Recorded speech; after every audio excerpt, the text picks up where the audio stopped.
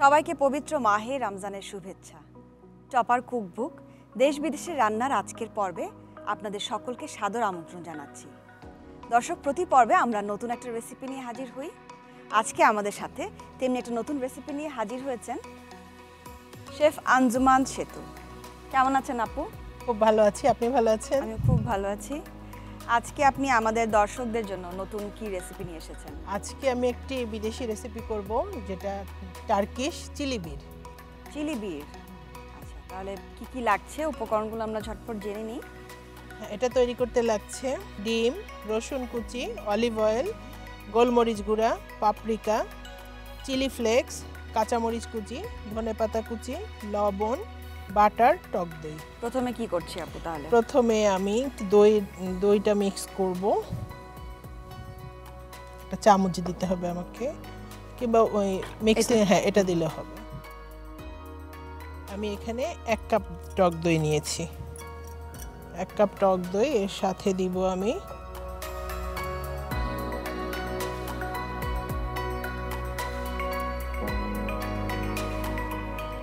Paprika এক চা চামচ গোলমরিচ গুঁড়া এক চা চামচ লবণ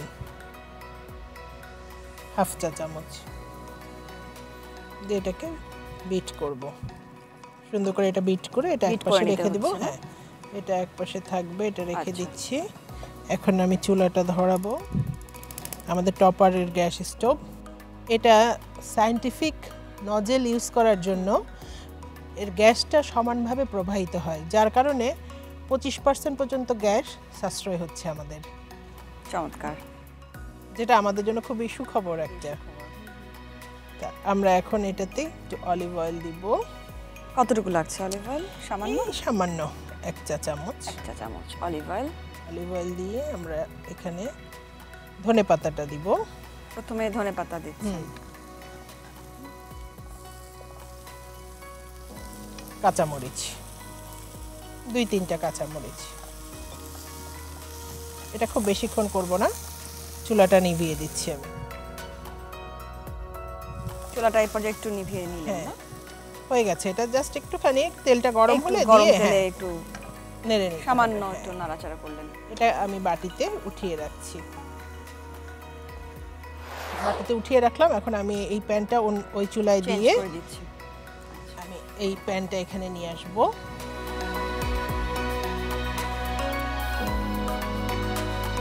চুলাটা ধরিয়ে দিচ্ছি। তেল লাগছে না? শুধু বাটার দিয়ে এটা হবে। একটু বাটার দিব একটু তেল দেব।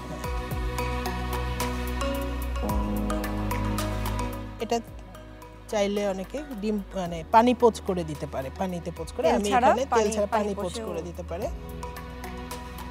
মানে এই রান্নাটা পানি পোচ করেও পানি। পোচ করেও হয়। পানি পোচের সিস্টেমটা হচ্ছে পানি পানি দিয়ে প্যানে পানি দিয়ে একটু ভিনেগার দিতে হবে। তারপরে ডিমটা দিয়ে দিতে হবে। হ্যাঁ ছেড়ে দিতে হবে। ঢেকে দিলে কয়েক মিনিট পরে ওটা হয়ে যাবে।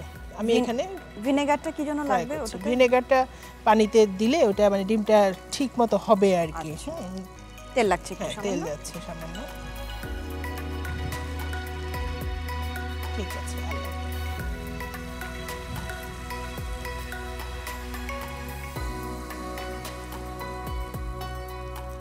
এখন আমি ডিম দিয়ে দিচ্ছি ডিম ভেঙে দিব। একটু ডিম একটা মানে একটা পর একটা সবগুলো ডিমই এখানে আমি হ্যাঁ তিনটা ডিমই দিব।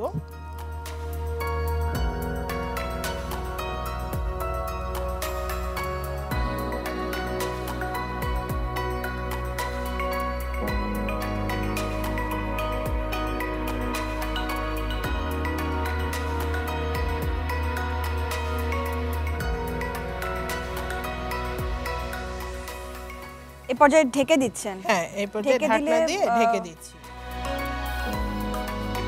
আমি তাহলে সার্ভিং ডিশ নিয়ে আসি।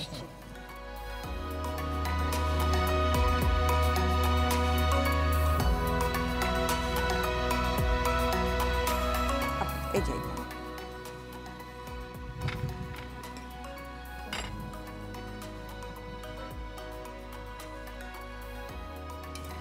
আমি এখন এখানে এই যে এখানে ধনে পাতার মরিচ কুচি যে করেছিলাম তেলে ওইটা একটু দিয়ে দিচ্ছি। ডিমটা হতে হতে। এরপরে আমি দইয়ের মিশ্রণটা দিব।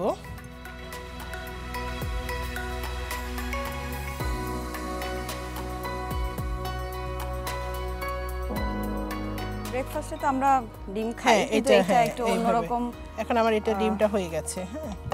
অন্যরকম যেহেতু আমরা চুলাটা নিভাই দিলাম আমি এখন ডিমটা আমি এটার উপরে দিয়ে দিব। আমরা স্যারিতে খেতে পারি। হ্যাঁ ডিমটা এটার উপরে দিয়ে দিলাম। এরপরে আমি এটাতে একটু কাজ আছে আমি চুলাটা ধরাচ্ছি। এখন আবার একটু বাটার দিব আমি। আবার সামান্য বাটার দিচ্ছি। হ্যাঁ আবার এক চামচের একটু- মতো হ্যাঁ একটু বেশি এক টেবিল চামচের মতো একটু বাটার দিব। এক টেবিল চামচ বাটার। বাটার দিব হ্যাঁ। পাপরিকা হ্যাঁ। সামান্য। পাপরিকাটা দিব এখন এক চা চামচের হ্যাঁ, মতো হ্যাঁ এক চা চামচ পাপরিকা পাপরিকা দিব আর দিব হলো চিলি ফ্লেক্স। চিলি ফ্লেক্স দিচ্ছি।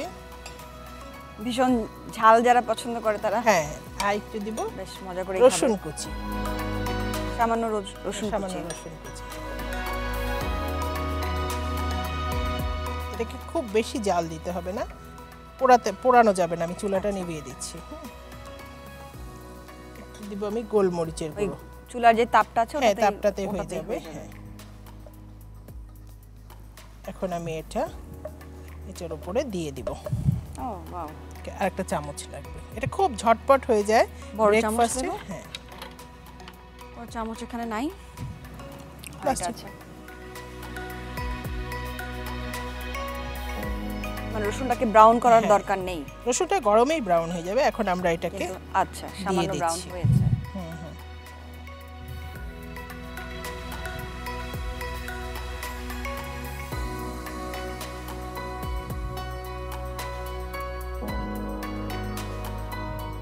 এটাকে রুটির সাথে খাওয়া যায় ব্রেড ব্রেড দিয়ে ব্রেড টোস্ট করে আচ্ছা, ব্রেডের সাথে এটা খেতে খুবই মজা।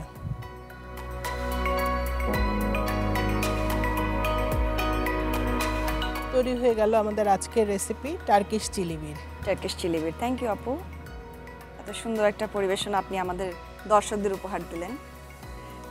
দর্শক টার্কিশ চিলি বির পেয়ে গেলাম আমাদের আজকের রেসিপি আশা করছি আপনারা বাসায় এটা ট্রাই করবেন। টপারের সাথে আপনাদের রান্না হোক আরও মজার। দেখা হবে আগামী পর্বে নতুন কোনো রেসিপি নিয়ে। সেই পর্যন্ত সকলে ভালো থাকুন।